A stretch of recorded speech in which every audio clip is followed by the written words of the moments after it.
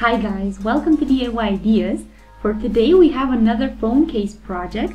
So for that I have my phone here and it already has a transparent phone case on it. So for decorating I wanted to use a really cool and different type of tape that I have. So it's kind of like washi tape but in this reflection mirror rainbow colors. It has this metallic shine. So I have these four kinds. They're really really nice.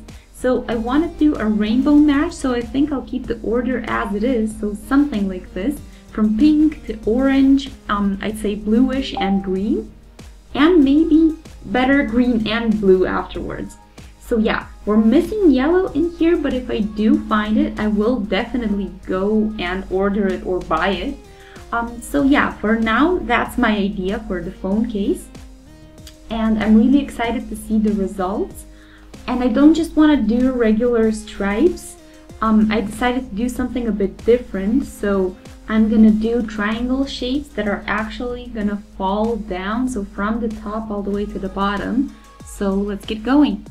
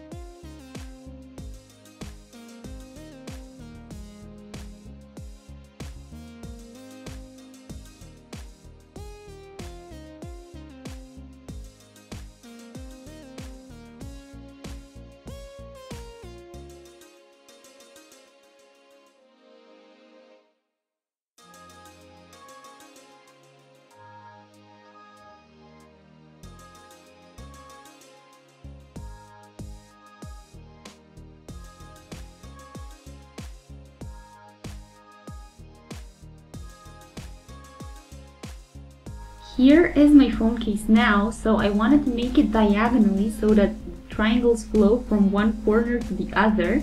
So let's put our phone in here and see how it looks.